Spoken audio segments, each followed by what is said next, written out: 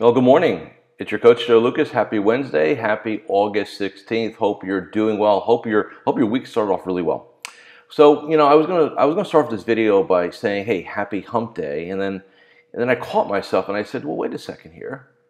You know, hump, we don't, what are we, we, are we humping like logs on our backs in, in 110 degree heat in Arizona? Are we, uh, are we humping shingles in the hot Dallas sun in August? Are we, are we humping, you know, uh, gravel in Florida in, you know, 95 degree, 95, 95, you know, where you're just wet when you walk out? We don't have anything in our business. No, reality is, hey, we got a great. And I want to remind everybody that. So, happy Wednesday. That's not our topic, by the way.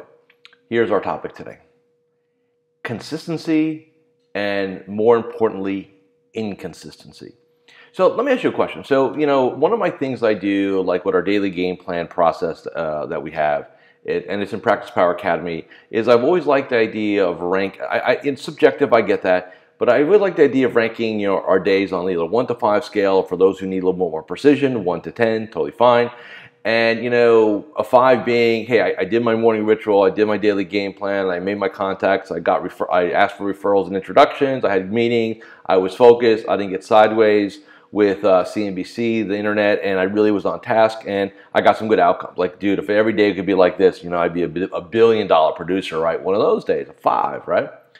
And then there's the ones, right? Which is, you know, you kind of roll out of bed. Maybe you had a, maybe had too much fun the night before, and you know your goal that morning is to get through the day, right? Not to go drive it, not to go make things happen, but to get through the day. Like you've got some job or something, you go hang out in your office, and like you might as well have just stayed in bed and gone to a movie because that's how productive you are. That's a one, right? And anything in between. Here's why awareness is so important on this. So let's just say, you know, it's Monday morning and Sunday night you had this conversation with yourself and you said, you know what? I'm gonna, you know, I'm, I'm tired of being average. I'm tired of, I'm tired of being just good enough, not excellent. And what I'm to do, I'm to go crush it. So you get all excited. You get up early Monday. You actually do your morning ritual. Maybe even exercise a little bit. You get in the office and you say, here's what, and you really get the pad out. Here's what I'm to do today, right? So I mean, like basic bare bones. You know, here it is on a piece of paper, and you get it done. You say, you know, that's a pretty good day. It's like a four or five. It's pretty cool Monday, right? And then Tuesday comes, and now you're a little less excited, right? You, you, you, so part of our brain sometimes goes, hey, man, we had a good day yesterday. We got this thing figured out. So now we can kind of dial it back, right? And so you don't hit it as hard, right? And so Tuesday is like a four, right? Then Wednesday a little less, and then it's a three. And then, then Thursday is a two, and then Friday's like don't even come in on Fridays, right? It's like one. If you average all that out, it's like a two and a half, three. And I'm not doing my calculator right now, so let's just you math people figure it out for me. So it's average. You had an average week. You, you had an excellent start to the week, but at the end, when you look at it all, it's average. People will sometimes have great Januaries, and then they kind of think they got it figured out. And then guess what they have? Average years. Oh, we grew plus or minus 5 10%. And they accept that, or they go backwards. They, even worse, they tread water, right? Consistency is the key and I would say this to, you know, if you're watching this, first off, you know, you're not looking to be average. You're not looking to be good enough. You're looking to be great. You're looking to be excellent. So let me say this to you because this is very important. This is this is the way I talk to myself. If being average equals X amount of dollars in, in your and you can you know again you put your own math on this thing, right? This is way I talk to myself. Man, if I'm good enough as this, well, what is excellent? And there's a number there, right? And then here's what I did. I took that number and I went back and I said, if I had that number over the last 10 years, every year, and I magically just drop, dropped it in my checking account or wherever you want to drop it, right? Just walk, work with me on this. How would my world be different? And I literally almost puked because it got me sick. And sometimes, you know, we like to think, oh, let's be inspired and let's go, you know, let's go get motivated. Hey, sometimes you got to look at the, the other side and say, man, that's painful. I don't want to do, I don't want to have that concept again, right? And it just and it just takes you to another level of awareness on what we need to do.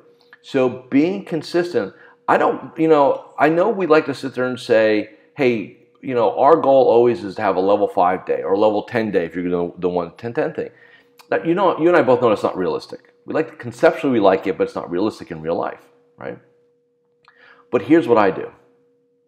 So let's just say you're using a 10 point must system, right? So 10 is great day, seven's passing, five, eh, anything below that, why bother coming in, right? If you can set a standard for yourself that says, hey, I will never be below a seven and a half or an eight. I will do whatever it takes to make sure I have an eight day, level eight day. The tens will happen.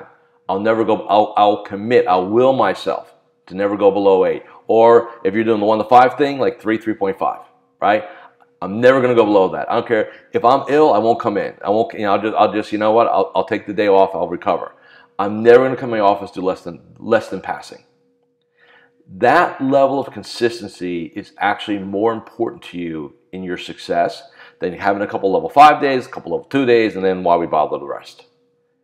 It's about minimums minimum daily excellence, minimum daily requirements. What's the minimum I need to do? And for those of you who work with me, and you've heard me say this, I don't, don't you know, and, and, and, you know this. You say, hey, how many referrals, how many introduction conversations do you think we can do? Oh man, I'll do five or six or seven a day. How many do you do now? None.